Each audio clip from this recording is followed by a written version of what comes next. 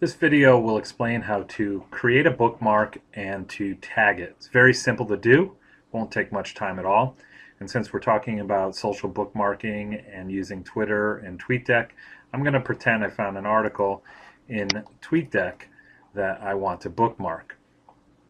This particular in the top center under Flip PD, this article about digital skills every teacher should have, caught my attention. I clicked on the link and I already know that this link is broken. It warns me, it says, sorry, I cannot go to that site. So it's a good opportunity to talk about what happens inside a tweet as well if a link is broken. This person also included that Ion Education was the person who tweeted this. So the link that Amber had included wouldn't bring me there, but I can go directly back to the person who tweeted this information the first time. And by clicking on Ion Education's webpage, I can actually go through and scroll down through and find the original link to the article, which was 33 digital skills every 21st century teacher should have. And it brings me here to educational technology and mobile learning, and here's the article. Now, at this time, you would want to check it out to see whether it's a, something that's worth bookmarking. There's a lot of resources in the end of this article. I've already scanned through it, and I've decided that I would like to save it to peruse at a later time. Now, I felt that this particular paragraph kind of describes exactly what's in this article. It's important as part of bookmarking if you find a bit of text or a paragraph that you think makes a good description, highlight that before you bookmark.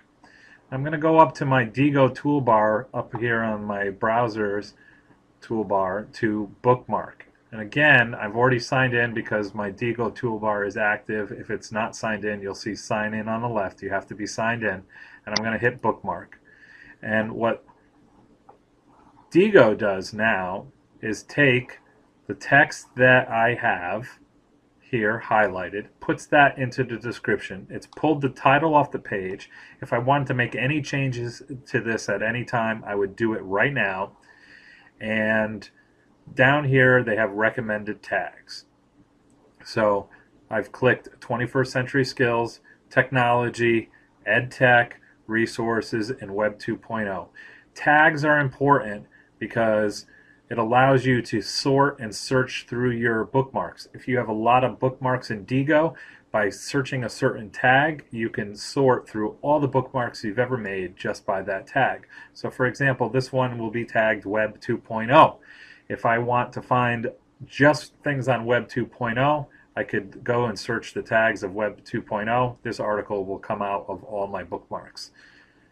Now, more options may not be open for you, but you can add it to read later, which is a special list within um, Diigo. You can make lists in Diigo that would um, you can categorize that to and add it to a special list.